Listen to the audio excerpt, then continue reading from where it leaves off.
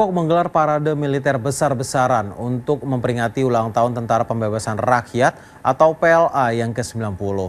Parade militer itu dipimpin langsung oleh Presiden Tiongkok Xi Jinping.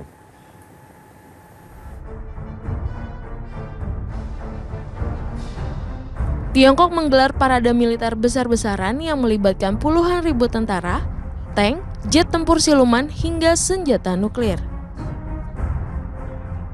Ini adalah kali pertama bagi Tiongkok dalam memperingati Hari Angkatan Bersenjata yang secara resmi jatuh pada 1 Agustus. Presiden Xi Jinping yang mengenakan seragam militer ikut berparade dengan memeriksa tentaranya.